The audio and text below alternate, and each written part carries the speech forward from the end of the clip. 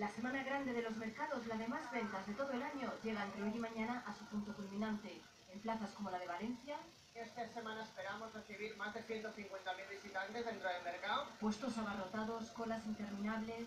Esto está, bueno, que no se puede dar ni un paso. Aquí ya va más de una hora. y hay por lo menos 300 personas, una cola de medio kilómetro. Esperando todos al último día para comprar lo más fresco. Todo fresco de, de esta noche. Son capturas de nada, de esta noche. Mira, mira Esto es de primera, mira.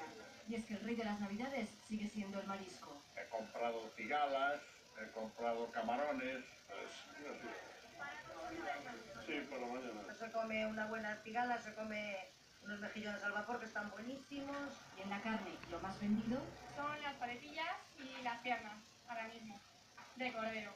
pero antes para picar, Jamón. Jamón es el rey. O es ibérico o no como. y aunque la queja es generalizada, Lo que pasa es que está muy caro. Carísimo. Caro.